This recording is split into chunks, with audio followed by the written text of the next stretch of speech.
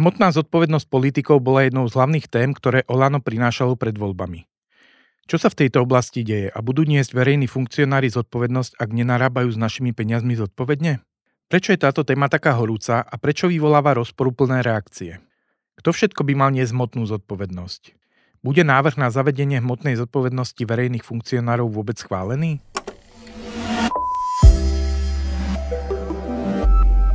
Dobrý deň, ja som Ivan Kotúček a vítam vás pri ďalšom podcaste Olano, v ktorom vám prinášame pohľady z prvej ruky na aktuálne témy. Na moje predchádzajúce otázky bude odpovedať predseda ústavnoprávneho výboru parlamentu Milan Vetrák. Vítaj v našom Olano kaste Milan, som rád, že si prijal pozvanie. Ďakujem pekne, vždy rád pijem pozvanie do tohto podcastu, tak veľmi rád aj teraz. Super.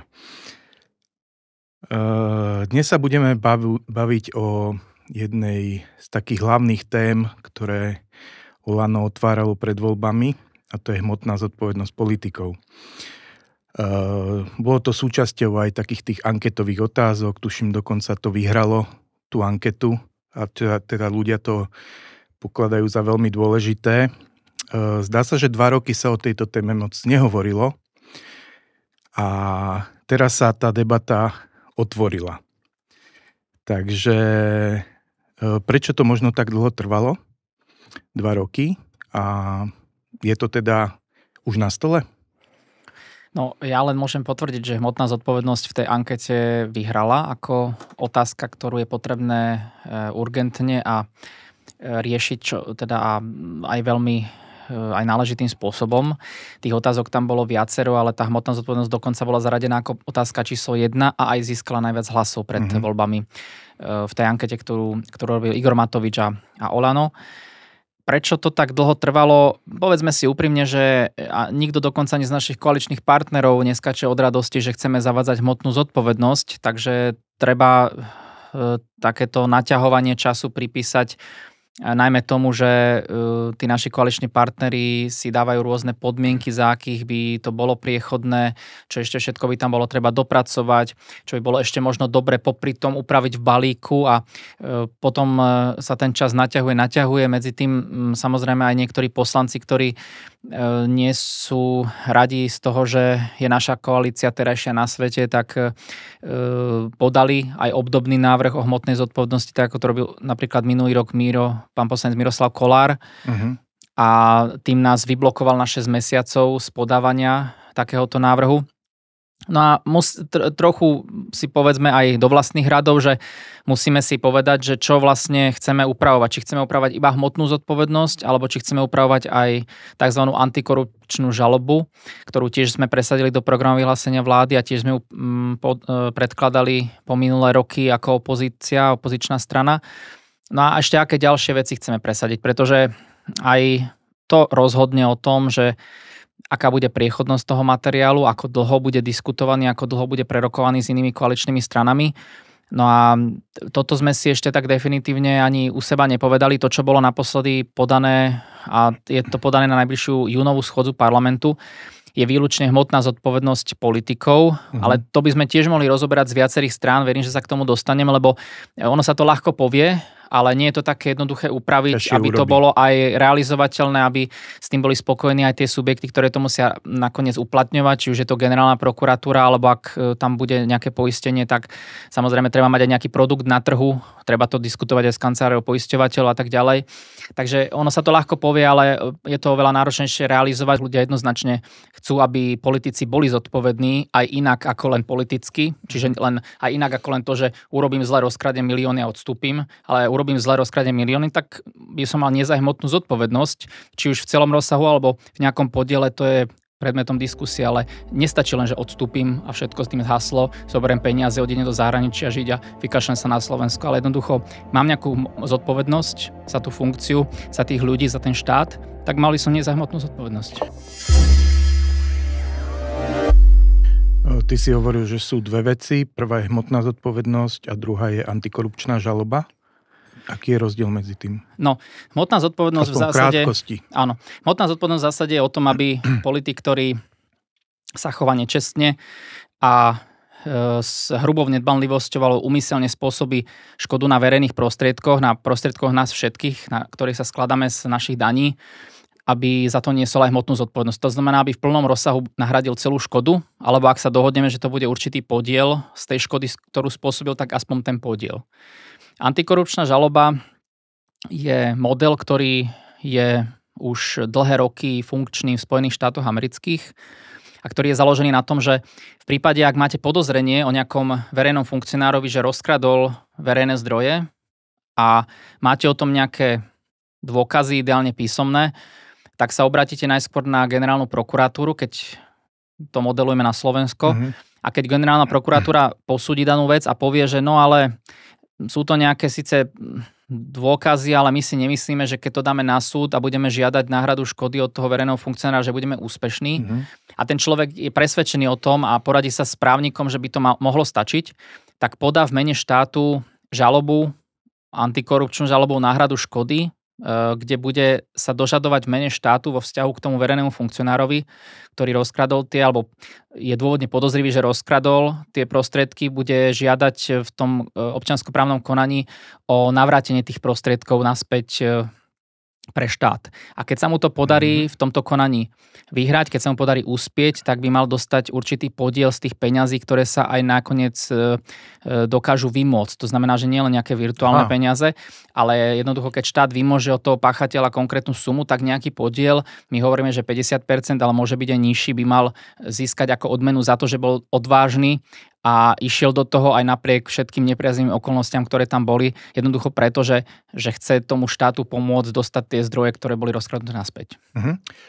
To znamená, že by sa obišla generálna prokuratúra? Dobre som to Generálna pochopil? prokuratúra sa neobíde, ale keď generálna prokuratúra sama povie, že, že si nemyslí, že nejde tento prípad môže byť úspešný, uh-huh. že nejde do toho, tak potom ten človek má možnosť ísť do toho namiesto tej generálnej prokuratúry a v mene štátu a vymôcť e, potenciálne vymôcť uh-huh tie finančné prostriedky, ktoré boli e, spreneverené. Zdá sa, že na tom návrhu, ktorý predložil uh, Jožo Pročko, uh, by ste tak nejak spolupracovali na tom, ale teraz je to predložené, ale zdá sa, že na tom nie je zhoda. Prečo?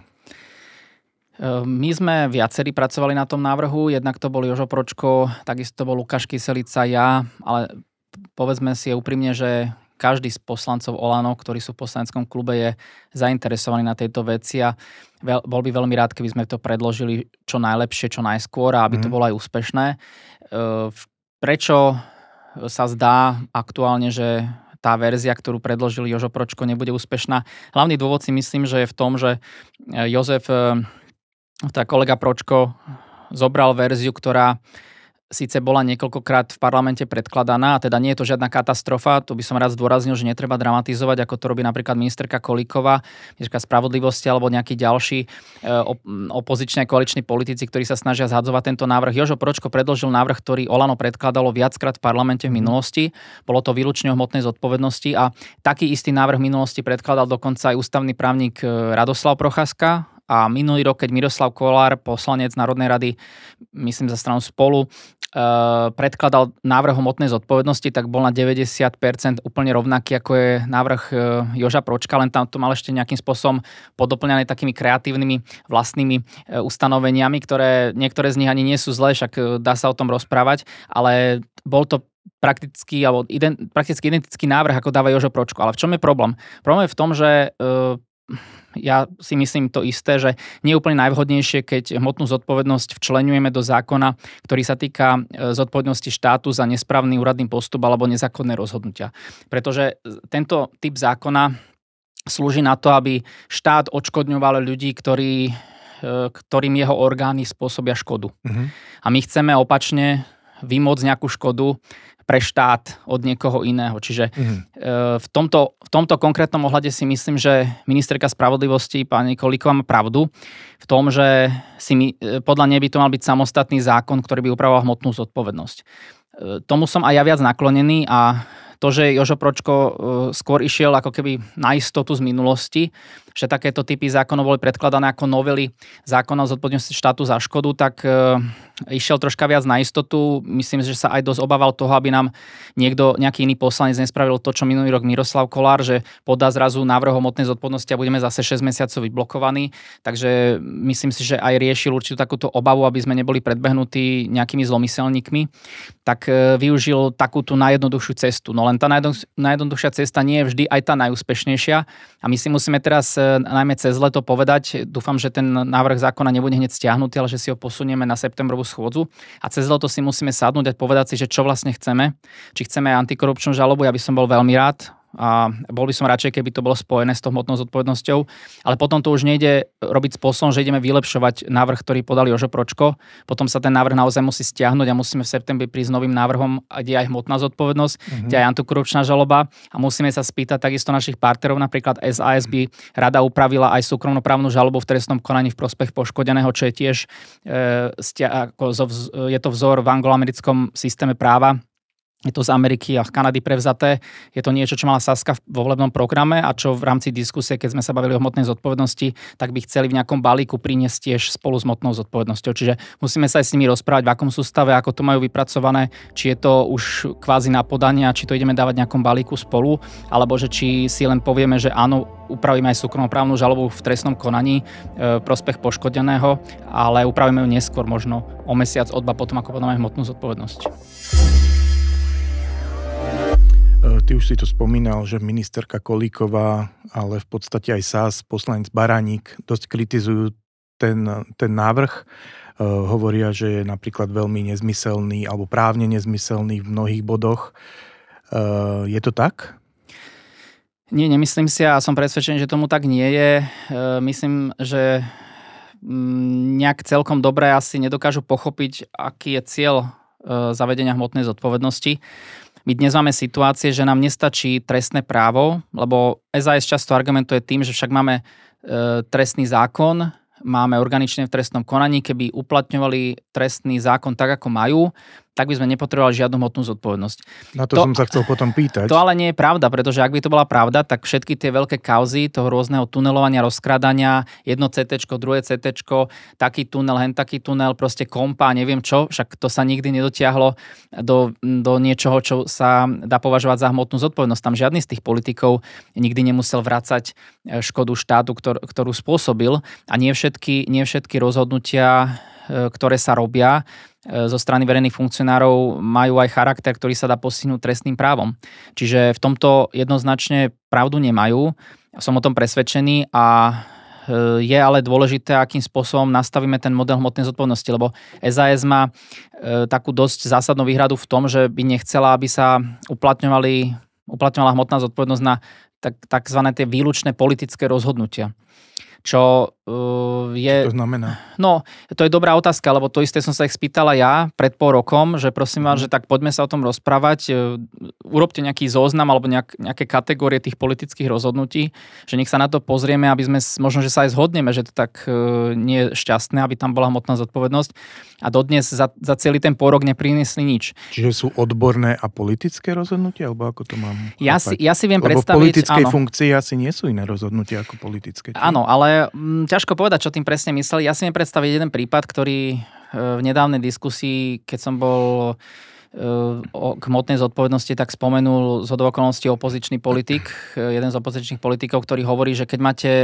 zasadnutie vlády a ministrovi, povedzme, vnútra pripraví niekto podklady a príde na tú vládu a tí ostatní ministri sa na neho spoliehajú s dôverou, že teda má to, má to odkontrolované, má to všetko naštudované, ich tam o tom presvieča, že zahlasujte mi za to, tak e, viem si skutočne predstaviť, že keď tam je nejaká naozaj aj vážna chyba, tak tí ministri v tej chvíli to nemajú šancu proste akože objektívne pozrieť. Hej? Že, Hej. že tam si viem predstaviť, že... že... Nie sú všetci právnici. Áno. A... a ani nemusia byť právnici, ale, ale jednoducho každý tam príde s desiatkami svojich veľké, materiálov. Áno, však, hrubé materiály. Hrubé materiály, je tam 30-40 bodov na vláde, každý minister si strihne svoja, viac menej od tých ostatných očakáva, že spolahnú na to, že on to celé preveril poriadne. Uh-huh že má šikovných úradníkov, ktorí mu pripravia dobre, dobre podklady a potom očakáva od ostatných, že pokiaľ tam nie je nejaký politický problém, tak sa mu do toho nevrtajú, ak sa povie.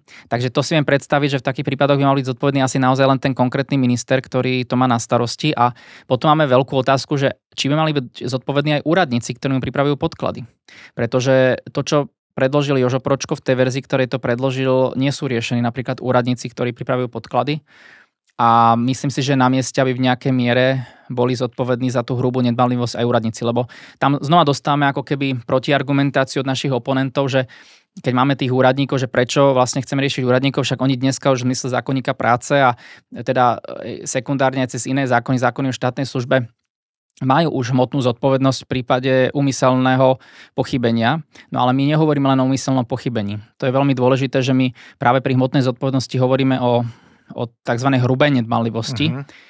A tá hrubá nedbanlivosť je buď vedomá nedbanlivosť, e, to znamená, že páchateľ síce nechcel, ale vedel, že keď pôjde tým smerom, tak môže porušiť zákon a spôsobiť škodu a potom aj také závažné formy nevedomej nedbanlivosti. Prečo je tu nevedomá nedbanlivosť, aspoň tie závažné formy? Generálna prokuratúra nás upozorňuje, že pokiaľ budeme postihovať alebo chcieť postihovať len tzv. tú vedomú nedbanlivosť, tak sa nám vo veľa prípadoch stane, že ju nebude vedieť prokuratúra preukázať, e, hlavne v tom trestnom konaní, keby sme chceli to páchateľa postihnúť povedzme cez trestné právo a, a nejakou škodou, ale ani inak. Takže my aj chceme ísť e, čiastočne do, do tej oblasti tej nevedomej nedbanlivosti, ale iba tých závažných foriem. A to nie je žiadna novinka. My napríklad dnes už v zákone o platobnom styku máme hrubú nedbanlivosť e, aj zadefinovanú. Môžeme sa rozprávať o tom, či je to tam najšťastnejšie zadefinované, aby si ale vedeli ľudia predstaviť, e, o čom hovoríme. Mm-hmm. Máme úradníka, máme povedzme šikovných úradníkov, ktorí pripravia podklady pre ministra na rozhodovanie a možno aj vo viacerých alternatívach, alebo aj úradníci na samozpráve starostovi, lebo to sa netýka len štátu, to sa bude týkať aj samozprávy, hmotná zodpovednosť. No a ten starosta alebo ten minister si prečíta tie podklady a povie si, že no a ja aj tak pôjdem úplne inou cestou. Akože tu mám tri spôsoby riešenia, mm-hmm. ktoré ako mám rozhodnúť. No ale ja som najmodrejší na svete, alebo aj niekto iný mi povie, že som najmudrejší na svete a nejakú krabicu šampanského mi tam donesie alebo e, v alobale niečo e, pobalené, tak e, pôjdeš štvrtou cestou. No tak a keď sa rozhodne štvrtou cestou a urobené podklady na tri cesty, tak potom bude nie si on sám zodpovednosť aj za tú nedbanlivosť, uh-huh. pretože sa odchýlil od podkladov, ktoré mal uh, pripravené na to, aby mohol správne rozhodnúť. Čiže kto všetko by potom niesol zodpovednosť? Úradník, minister, ten, kto predložil, ten, kto schvaloval, ten, zásade kto kontroloval? Všetci, všetci v tom rade, ktorí sa podielili na tom, že sa to dostalo k tomu konečnému konečnej osobe, ktorá rozhoduje. To znamená, na ministerstvách to býva viacero ľudí, lebo máte neviem, vedúceho oddelenia, riaditeľa odboru, mm. generálne riaditeľa sekcie. Nejaká kontrola je tam. Nejaká kontrola tam je. Je tam nakoniec e, ten minister, niekedy je to možno medzi tým ešte štátny tajomník. Čiže každá osoba v, to, v tom rade, ktorá je, tak ten, ten posledný, ktorý je politikom, tým verejným funkcionárom, tak ten bude niesť väčšiu zodpovednosť, buď v celom rozsahu alebo v nejakom podiele z tej škody. A potom hovoríme o tých ďalších, tých úradníkoch, ktorí pripravujú podklady, pretože aj úradníci nie všetci sú šikovní, si povedzme. Mm-hmm. Aj tí úradníci môžu niekedy podstrčiť tomu ministrovi na rozhodnutie niečo, čo je nekvalifikované, lebo keď sú to stovky strán a máte Nemá tam rôzne prepočty a analýzy, to, to mm-hmm. je mhm. bez šance. Takže on sa spolieha na tých svojich úradníkov, tak potom, ak naozaj on sa spolahol, ten minister, na to, že mal tu tri verzie a vybral si jednu z nich, mm-hmm no tak nemal by byť zodpovedný ten minister. Mali by sme ísť riešiť tých úradníkov, ktorí, jak sa povie, to pokazili.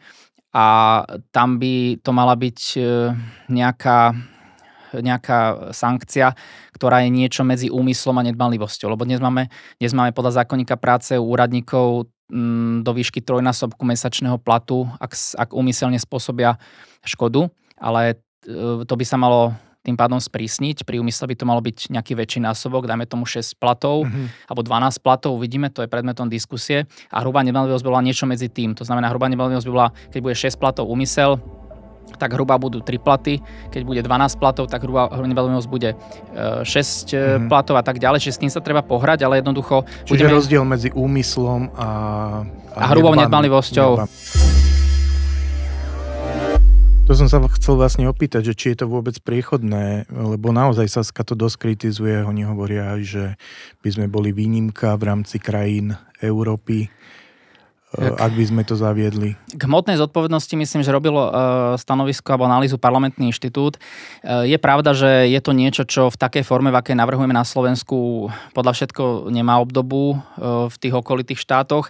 Na druhej strane, ako som spomínal tú antikorupčnú žalobu, tak tam sa inšpirujeme naozaj Spojenými štátmi, kde to funguje dlhé roky a je to, je to aj úspešný model, ako, ako zachrániť štátu v niektorých prípadoch peniaze, ktoré boli verejnými funkcionármi rozkradnuté. Ja si myslím, že SAS eh, aj za ľudí nakoniec eh, pri, určitých, eh, pri určitom kompromisnom riešení hmotnej zodpovednosti budú ochotní za to zahlasovať. Väčšie obavy mám u nášho koaličného partnera Smerodina, pretože tam ak som doteraz mal možnosť sa napríklad rozprávať s pánom podpredsedom vlády pre legislatívu Štefanom Holím, tak tá verzia, ktorá by napríklad z, z jeho pohľadu bola priechodná, je podľa mňa verzia, ktorá sa bude míňať účinku v tom, čo chceme dosiahnuť. Ako... Čiže to zostane na papieri.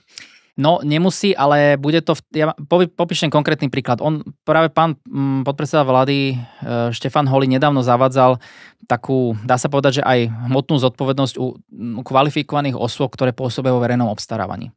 A on, ale iba u externých, nie u interných. Čiže ak mm-hmm. je mhm. nejaký externý zamestnanec, ktorý pracuje napríklad pre úrad vlády alebo pre iný úrad, Eh, vo verejnom obstarávaní eh, a spôsobí škodu, tak tú hmotnú zodpovednosť vo výške nejakej pokuty, povedzme 15 tisíc eur, bude niesť eh, až na tretí krát, keď pochybí. Mm-hmm. No a teraz si predstavme naozaj nejakého verejného funkcionára, že prvýkrát spôsobí škodu 20 miliónov niekde na diálniciach, druhýkrát niekde mm, proste mm, niečom inom vo svojej sfére 15 miliónov a teraz pri tretíkrát, no tak jemu možno už ani tretíkrát nebude treba, lebo keď sa niekde v úvodzovkách nabalí na 35 miliónoch, tak môže kľudne odstúpiť z funkcie aj si užívať e, predčasný dôchodok. Veľmi... Áno, áno, a dostať za to 15 tisíc pokutu, ale keby mala vyššia, nálepka. aj 100 tisícová pokuta, no tak aká bude potom tá pokuta?